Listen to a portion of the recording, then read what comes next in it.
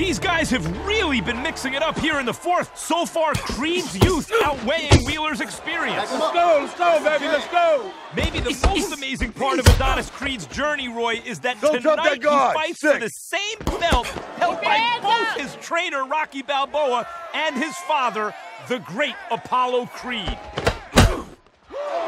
Wheeler seems to be waking up. We've seen this before, Roy.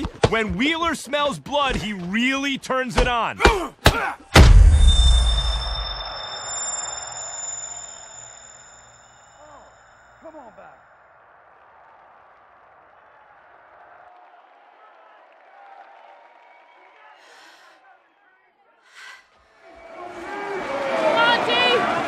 years ago, that's a knockout.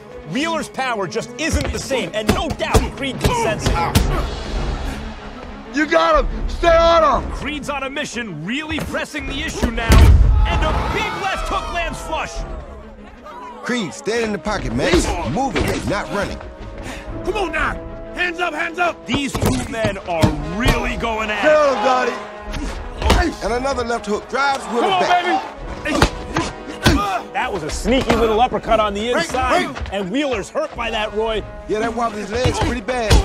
Another big On him, shot. him, on him. Creed has him in trouble, Max. Wheeler is doing what he can, but